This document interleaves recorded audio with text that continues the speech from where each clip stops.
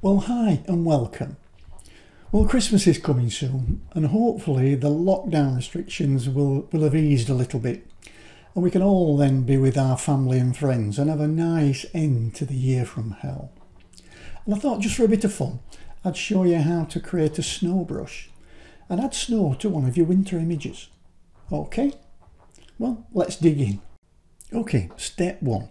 What we need to do is create a base for our brush and we're going to do that with a new document.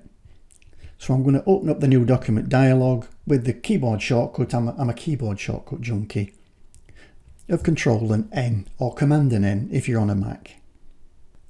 And then I'm going to look at a, down this, this right hand side here. I just want a 500 pixels, so I'm going to set this for pixels. So I want a width and a height of 500, leave resolution at 72, and do nothing with anything else. RGB colour, white I want as a background, colour profile, square pixels, just leave as they are. And then I'm going to click create. And that's going to create me a square, basically a square white piece of paper. Now, step two, we want to create a basic brush. Now, in our canvas here, we're going to put some dots on to, as the basis for this brush. So what I need to do is to make sure that, that black is my foreground colour because that's the colour that I will be saving my brush as. Now at the moment it's white, my foreground colour, so I'm just going to press the D key and that resets it to black and white. And then I'm going to select my brush tool or you can just press on and click on the B key. And then the hardness, I want to be 100%. So I'm going to go into the little brush doohickey here, that little thing, and we've got our brush. I don't want the the other snow brush. I just want a a hard round at 100% which is 100% hard.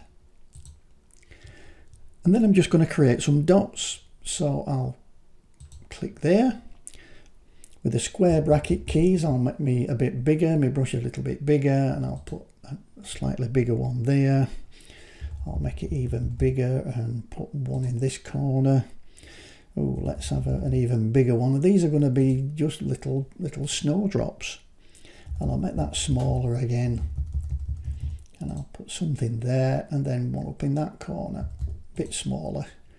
And a couple up there, even smaller. So I've got some little snowdrops and I might put one down there like that. Now I've got all my, my snowdrops on here, what I want to do is save it out as a brush. So I'm going to go to the edit menu and I'm going to go down to define brush preset. And then I'm going to give it a name and I'll just call it snow. I'll call it me snow brush. There we go. I'm going to click OK and now you'll see it automatically loads it on to me mouse. So if I move around I can click and I'll be I'll be creating these dots. So I'm not going to click on anything that I don't want to click on at the moment. So I'm just going to go back and we'll click on the move tool.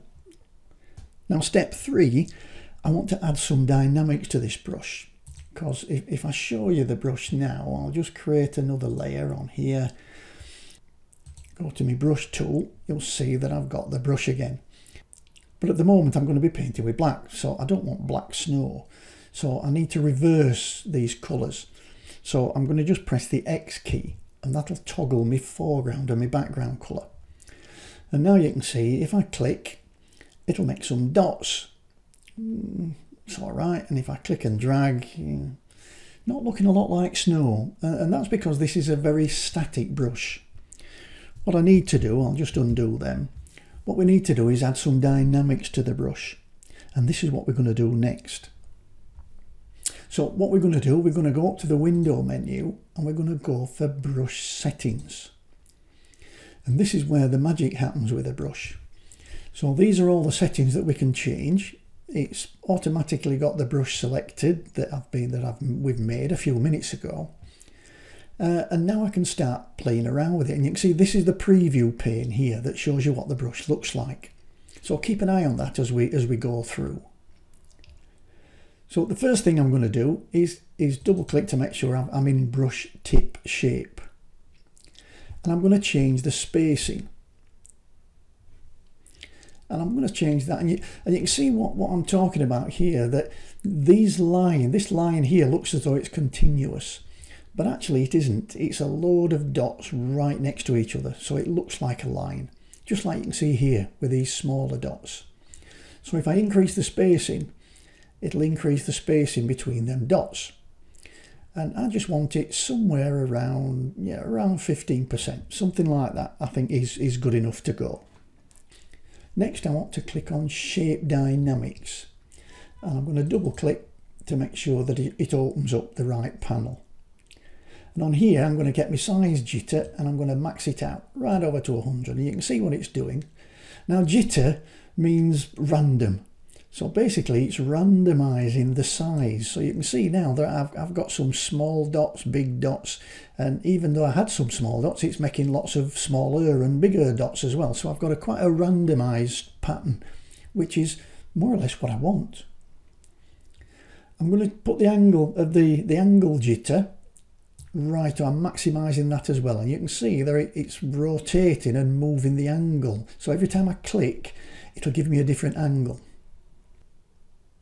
and you can see how it's looking now on the preview pane underneath. And then I'll have a bit of roundness jitter. And what that's doing is you'll see it's making, if I, if I pull that right across, it's making them not round. So we're going really oval. But I don't want it to change. So I'm putting some jitter in because I want it to randomize. Um, and then I'll have a minimum roundness because I don't want them to be too oval. So if we set a minimum roundness, it'll give me slightly oval, but not too much. Next, I'm going to go into scattering. And with scattering, we've, we're, basically, we, we're moving the things all the, all the way around. So with the scattering, I'm going to click both axes because I want it to scatter this way, vertically and horizontally. And now I can move the scatter and you can see what it's doing. It's zooming them out. And I want to be around, I think, about 800%, something like that, to give me a good scatter. And lastly, I want transfer. Now transfer, what this does, this tells, um, the, this makes the brush, so you can see what's happening here, that there's some of the ones are, are quite white and other ones are getting more opaque. And this is what transfer does. And it'll give the effect, a, a much better effect as snow because some of them will look as though they're further away.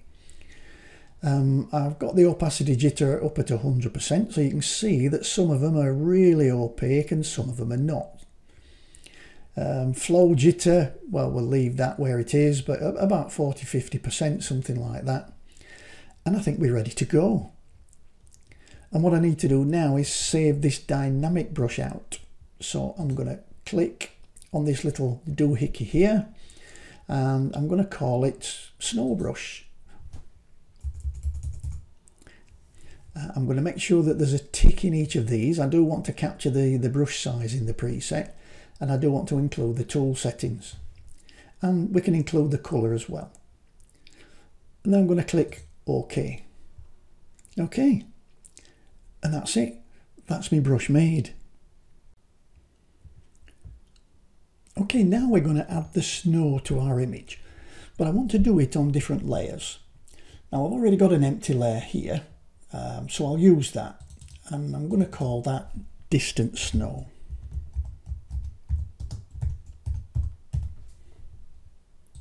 Okay, so this is the far off stuff. So I'm going to get my brush, get my brush tool with my lovely snow brush on it. And I'm going to make it really teeny tiny small.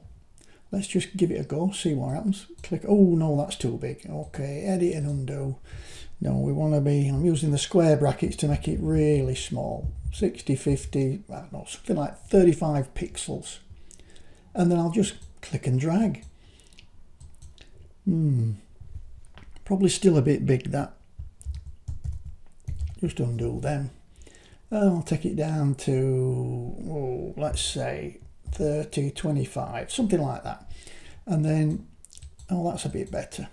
And then basically I'm just clicking and dragging to create this really random snow effect. I'm not putting any of it down here in the foreground and I'm trying to avoid getting it over the main subject which is this deer. So I'm just clicking and dragging. And at the moment, yeah, it doesn't look too realistic, but this is a bit of a snowstorm, so we've got plenty. But I'm trying to get this to be snow that's in the background. And so the background is blurry. So really this snow should be blurry as well. So I'm going to give it a Gaussian blur. So I'm going to go to filter and blur and Gaussian blur. And I'll just play with the radius until I think it looks about right. So I think somewhere about there it fits nicely in with that background. So it's giving it a bit of depth. It's moving it away from, uh, from the subject here. And then I'll click OK. So now I'm going to create another empty layer. And I'm going to call this, I'm going to call this middle snow.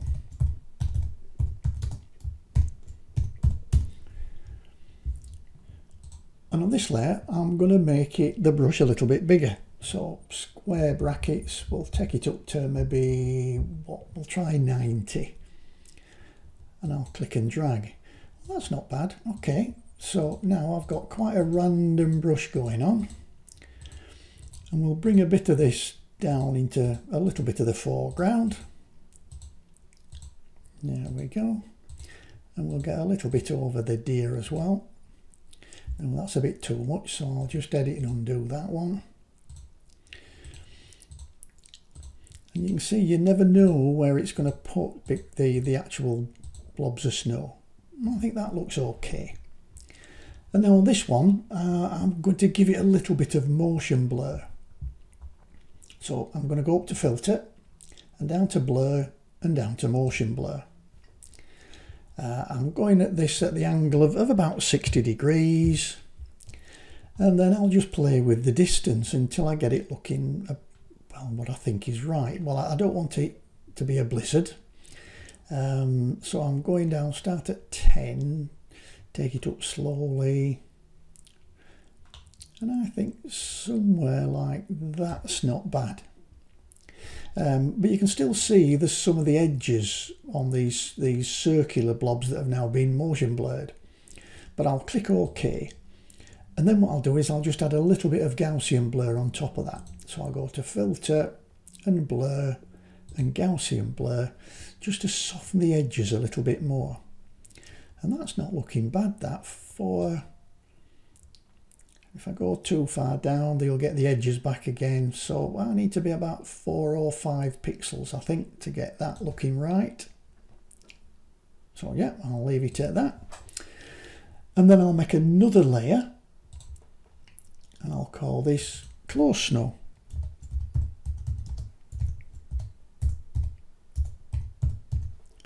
Well, get my fingers working. Close snow. So I'll make this even bigger. So get it somewhere like that. Let's see what that does. Oh, that's not bad actually. But it's it's not really coming on very well. So I'm going to have to make it a little bit smaller. Ah, that's better. Yep, so I'm getting some bigger flakes of snow and they're in the foreground. So there we've got those. Yep, I think I think that's fine. I think that'll work fine. And then I'm going to do exactly the same. So I'm going to go to filter and blur and do a little bit of motion blur. Uh, play again with the distance. Something. Uh, I think that looks quite good. Okay, and again, I'm going to follow this up with a little bit of Gaussian blur. just to soften the edges off a little bit.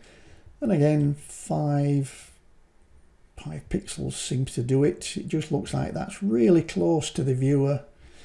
Yeah, I like that. Okay. And I'll click OK. Now you can continue with this and do as many layers as you like.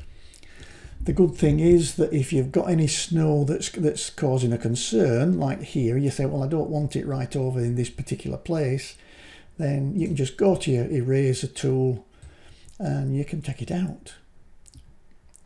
That's pretty cool. Um, or you can go, let's say the middle snow, you could well, you could, let's duplicate it. We could duplicate the layer uh, if we wanted to do that. And then we'll get the move tool.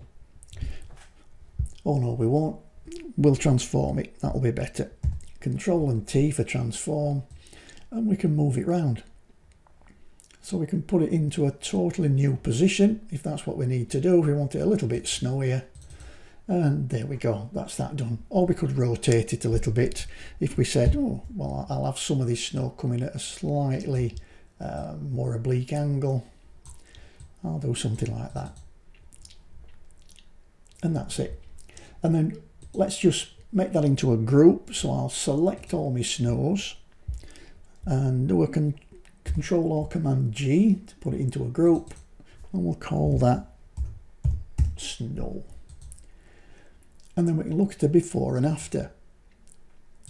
So that's before and that's after.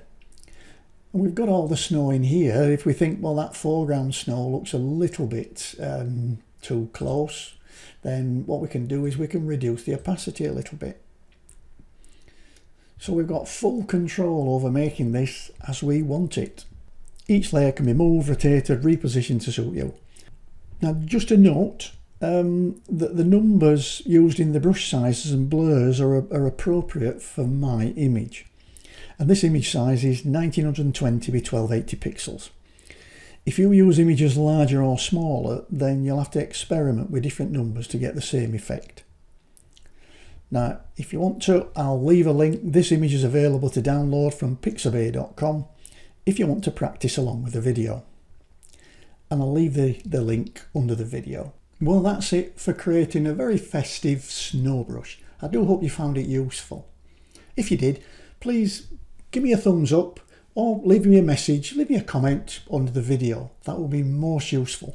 And please click that subscribe button.